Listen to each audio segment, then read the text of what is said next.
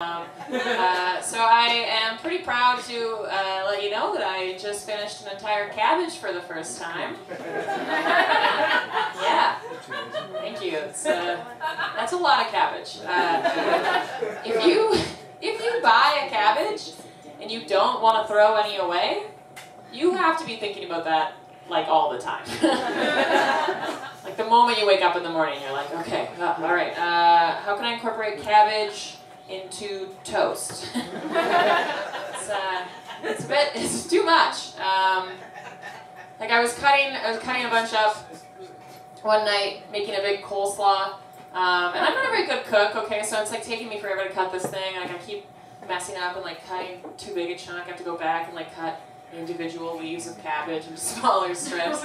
I'm cutting this cabbage for like 15 minutes. I'm not good at cooking. And then I finally get like a big bowl of it together and uh, I turned, I turned to grab something else, and I knocked the entire bowl of cabbage onto the floor. Just all to kind of drift slowly to the floor, just like the saddest pinata. And uh, my honest first reaction was, oh, thank God. thank God. Anything to help get through some of this cabbage. It's, it's too much. Like, it's, it, it's, it's insane. Like it just the it's too much pressure. Like the stakes are so high by the end. You're just like you feel. I I feel like I'm like a teen mom. Like I'm just like you know this is unfair. Just one. It was supposed to just be one night of fun with some fish tacos. Saw the recipe on Pinterest. I thought it was cute, you know. I'm on the hook with this thing 24/7. Round the clock responsibility.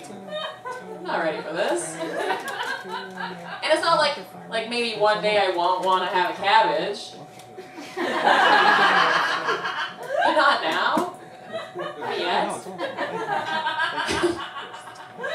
Couldn't be out here doing this. I have a cabbage at home. I have to be it or something, and I don't know.